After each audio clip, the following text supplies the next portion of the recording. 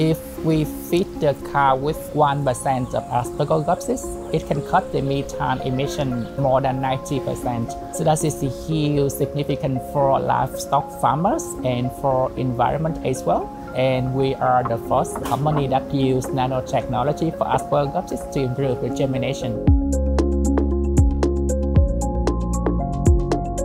I came to UNSW in 2017 to do a PhD in nanotechnology. And at the end of my PhD, I realized my nanomedicine can be applied for agriculture. So we use a nanoparticle to deliver fertilizer and pesticides.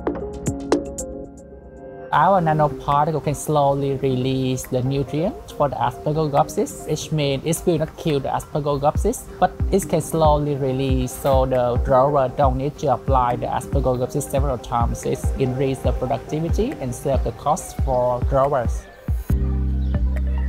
The nanoparticle can work for plants as well. And here's one of our nanoparticle. In the powder, you can apply to the soil and in the chair, we can cut on the seed. And in the liquid form, we can spray to the leaf or add to the irrigation water for farmers to use. What we found was when we add our silicon nanoparticle into the asparagopsis media, it increased the germination to 100% compared to only 67% without our nanoparticle.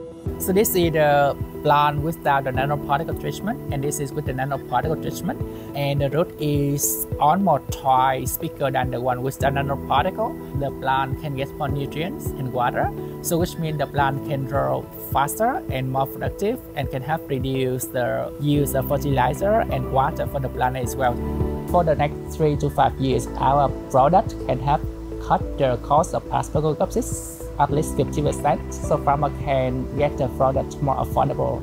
And methane emission is one of the significant impact on the farming activity, particularly in Australia. So if we can cut the methane emission, it is significant for environment and for Australian farming and livestock industry as well.